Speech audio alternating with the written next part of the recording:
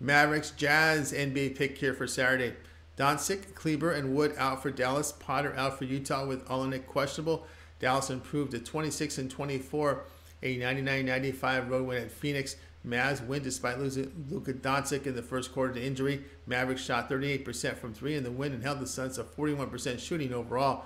Dallas league average in shooting, worst rebounding team in the league, and they're 25th in defensive rating, uh, giving up 115 points per 100 possessions.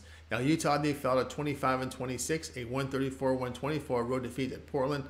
Great shooting night for Utah, but they couldn't match the 57% shooting by uh, Portland and 47% from three uh, to that Trailblazer team. And Damian Lillard had a monster performance there.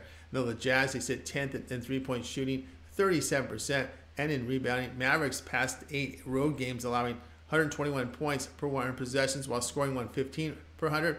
Jazz have split their past eight home games by scoring and allowing 117 points per 100 possessions. I'm sorry, by scoring 117 points per 100 possessions, and they're giving up 114 per 100. The play here, though, will be on Dallas plus eight.